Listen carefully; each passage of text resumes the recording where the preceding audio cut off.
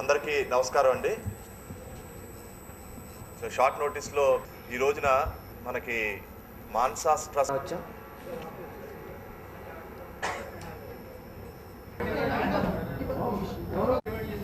Bulk bulk రెండు రెండు ముప్పై ఎంత క్లీన్ ఏరియా ఉండాలి?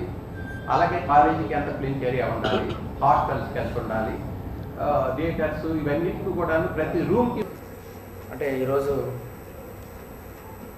చాలా ముఖ్యమైనటువంటి చాలా పెద్ద ప్రోగ్రాం. మన మహారాజా మాస్టర్స్ ట్రస్ట్ సంబంధించినటువంటి భూములన్నీ కూడా అంటే ఇంతవరకు మనకు రమారమి ఒక రెండు వందల యాభై ఎకరాలు ముందు ప్రిలిమినరీగా ఫస్ట్ ఫేజ్ కింద రెండు వందల యాభై ఎకరాలు ఐడెంటిఫై చేసి చేయడం జరిగింది. దాంట్లో ఫస్ట్ అంటే మనకు ఒక పైలట్ కింద ఒక రెండున్నర ఎకరాలకి దాబా గార్డెన్ మనకు విజయనగరంలో మనం గత అంటే ఆగస్టు ఇరవై ఏడున మనం నోటిఫికేషన్ ఇవ్వడం జరిగింది. సెప్టెంబర్ ఇరవై ఒకటిన మనం అది ఈ ఆప్షన్ కింద మనం తీయబోతున్నాం.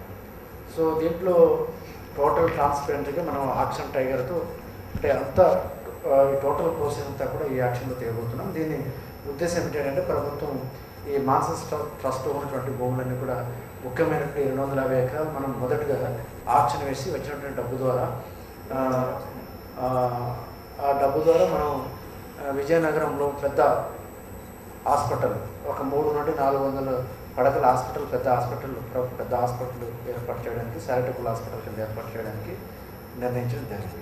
సో దాని మీద మన ప్రెస్ సోదరులకి మనం ఏంటంటే దీంట్లో ఆల్రెడీ మనకు ఆక్షన్ డైలీ రిపోర్ట్ ప్రకారం మనకు ఈ రోజు దాకా కూడా ఒక పది పదిహేను దాకా మనకు వాళ్ళంతా వచ్చారు వచ్చి దాని ద్వారా వెళ్ళి ఆ సైట్ కూడా చూసుకోవడం జరుగుతుంది.